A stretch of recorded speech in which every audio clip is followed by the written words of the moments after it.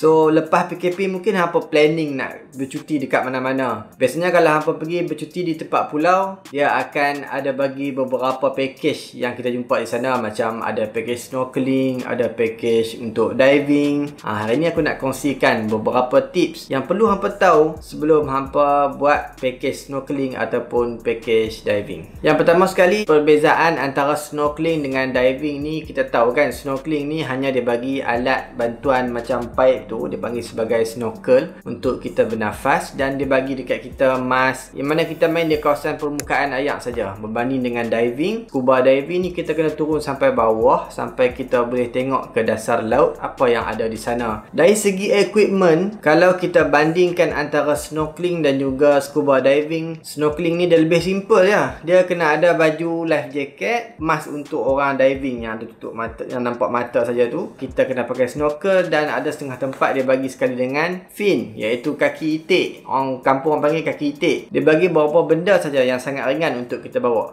Sangat simple berbanding scuba diving yang kita nak kena bawa. Yang paling jelas kita nampak tonggah tu lah. Tonggah tu adalah udara mampat yang mana udara itu kita dapat bernafas secara normal. Kita ambil masa dalam ayak selama 45 minit hingga ke sejam ataupun sejam lebih sikit-sikit tu bergantung kepada cara pernafasan kita. Kemudian kita kena bawa lagi regulator yang mana ia adalah alat pernafasan yang menyambungkan daripada tank udara kepada mulut kita. Kemudian ada mask lagi ada fin. Memang kena pakai fin lah untuk orang yang scuba diving. Kemudian kalau kita diving di tempat yang airnya sejuk kita memerlukan kepada pakaian khas yang lebih tebal. Yang mana pakaian itu dapat melindung kita daripada rasa sejuk yang teramat sangat ketika melakukan aktiviti scuba diving. Dari segi kos pula snorkeling ni kita tahu dia lebih murah berbanding dengan scuba diving. Scuba diving kita kena sewa set-set dia. Sekitar kalau di Malaysia ni kalau untuk satu dive dive kita boleh dapat dalam harga 150 ataupun 200 ringgit untuk satu dive. Kalau nak banding dengan snorkeling memang jauh beza lah. Snorkeling dalam 25 ringgit 35